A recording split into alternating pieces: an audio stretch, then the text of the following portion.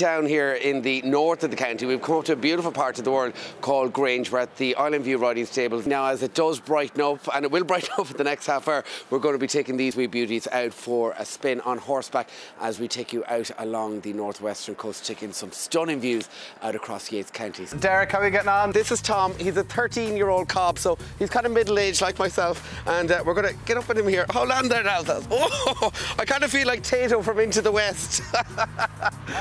I love that film. That's a great What, Tato? film. That's We're going to be thinking about that all day. Beautiful opening shots here because we've come on to Dernish Island, very uh, close to the Atlantic coast here. We're actually on the beach. Absolutely beautiful, I have to say. Uh, Tom is playing a blinder here. Uh, Derek is out on the pony trek. oh, wow. Oh, Look wow. at that. Oh, lads, look at this. This is absolutely spectacular. Uh, we're just down the beach now. It's a secret beach. We can't give away our exact location, uh, but just over my shoulder here, we have Ben Bulben. Over here in front of me, we have Classiebawn Castle, and we're right onto the Atlantic.